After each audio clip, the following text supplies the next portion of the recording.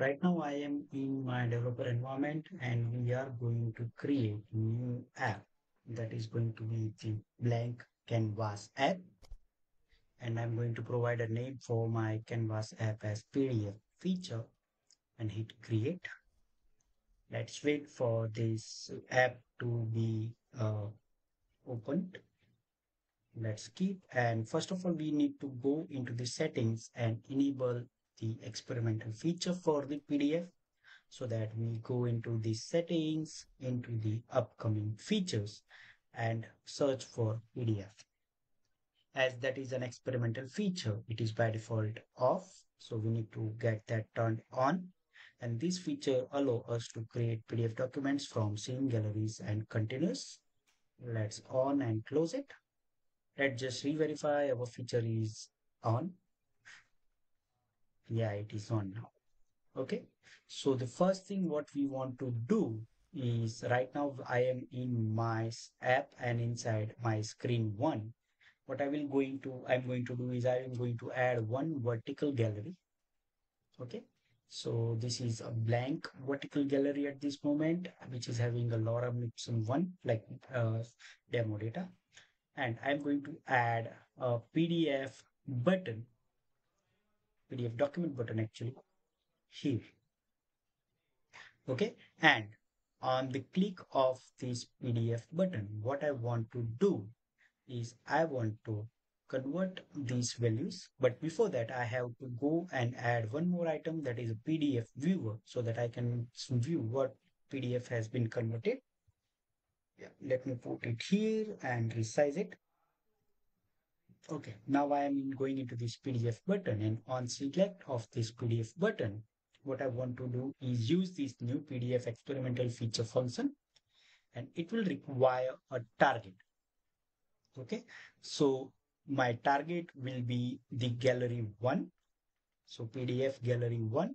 And if I uh, just close this, but before that, what I, I just forgot to uh, add this into uh, one type of variable. Let's say i add it as a as a global variable. So set varPDF1 where pdf this pdf galleries output okay?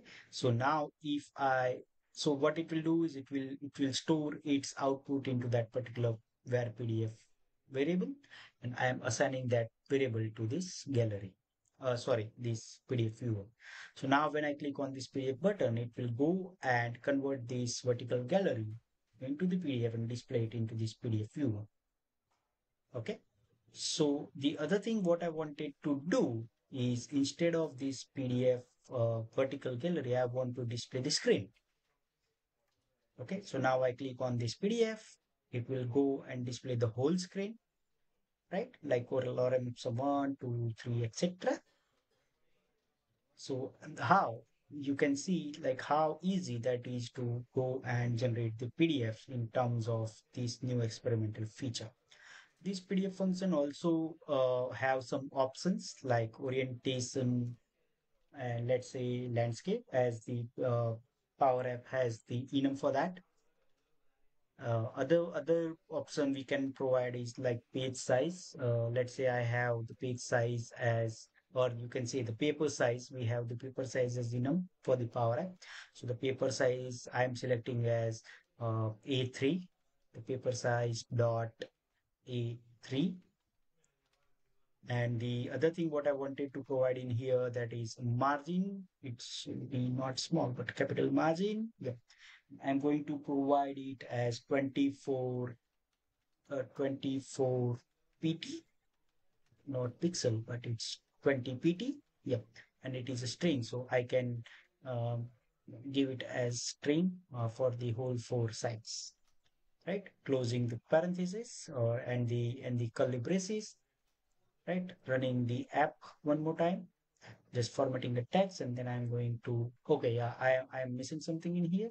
So that is the page size is not the appropriate value or option value for this PDF function, but it is instead of the page size, it is size. And yeah, it should be the capital S. Mm, yes. So let me try to format text. Yeah, it's fun. let me run the app one more time and now this time when I click on the PDF button you can see there are four side margins is available and the page size has been changed to A3 great. So the next step what we are going to do is instead of uh, having the screen one what we are going to do is using the gallery that is gallery one we are going to use these options of orientation size margin etc and we are going to use one more option which is available into the pdf called as expand containers. Let me make it true. And let me run the app one more time. Okay.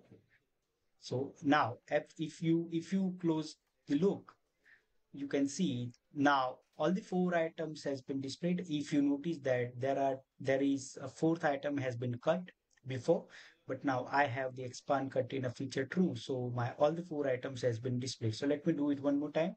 Let me just go and make it false. This expand containers features to false. Let me run the app and you can see the output. Here you go. So the fourth item has been cut right? And if I go and make it okay so so if I go and make it false right? So it's been cut. But now if I go and make it true one more time what it will do is it will display all the four items properly so in case of where we have the vertical scroll bar this is helpful in terms of the container the other thing what I wanted to do is let me add one more PDF document button or PDF button in here, right? And on select of this PDF button, what I want to do is I want to use, let, let me add a, a data source. Uh, I want to use uh, Office 365 Outlook trigger to send an email of generated PDF. So to do that, what we have to do is we have to uh, connect to the Office 365 Outlook connector. So now my Outlook 365 connector has been connected and then we can use on select of this PDF button. Uh, we can we can call out the send Outlook 365 send email v2 function. you can provide the two like I want to send it to current logged in user. So user dot email that will be current users, current login users email. The sub subject can be anything like test email.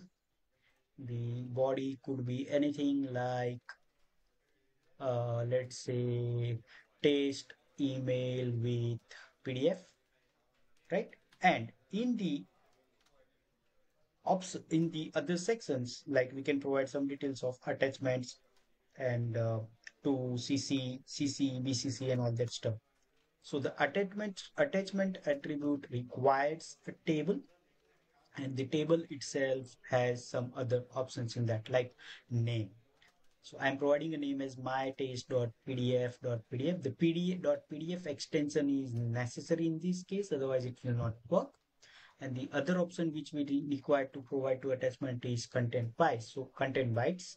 So the output of our experimental pdf feature is going to be the content bytes. So i am just providing this gallery one at this moment closing the all the required parentheses okay and try to format the text. Yep it's it looks good. So let me just go and uh, run the app. Run the app. And now if I click on this PDF button it will go and let me open my email. It will go and shoot me an email with taste my taste pdf.pdf so the items has been cut as you know we have to provide that expand container attribute to true to get the whole data inside that gallery control.